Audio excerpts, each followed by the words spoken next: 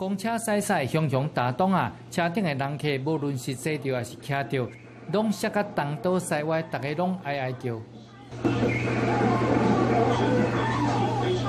有坐椅仔的，拢较好运小可行一下，小可去行着尔。但是徛着的人客有骨落的手拢换袂调，就摔个涂骹。伫车门边会当看到一两三四四个人拢做阵跋跋倒贴贴做一下。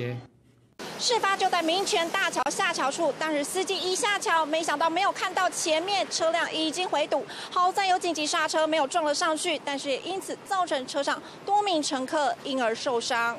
六月七日下晡两点外，这台首都客运红三十二经过台北市民权东路五段卡武湾街口的时阵，路桥头前的车已经慢慢的动点了，但是这台公车司机反应伤过慢，已经要弄掉，才赶紧打刹车。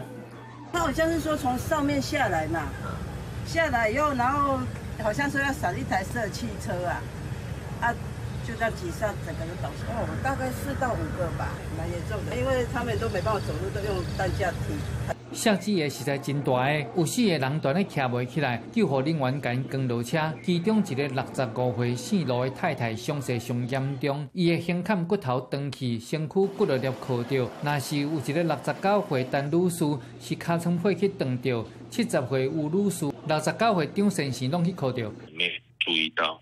前面那个车辆已经有在停了，所以他等他发现的时候，他做一个紧急刹车动作。那当下四位乘客送医院的时候，我们都有带同仁过去关心慰问。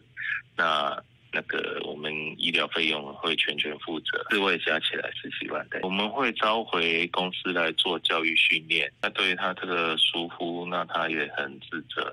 根据了解，公车司机五十外岁人驶这台公车已经驶三年了。这条路线嘛是逐工在驶，但是无注意才发生事故。民事新闻台北报道。